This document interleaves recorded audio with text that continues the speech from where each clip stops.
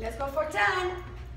One, two, three, four, five, six, seven, eight, nine, ten. Yes.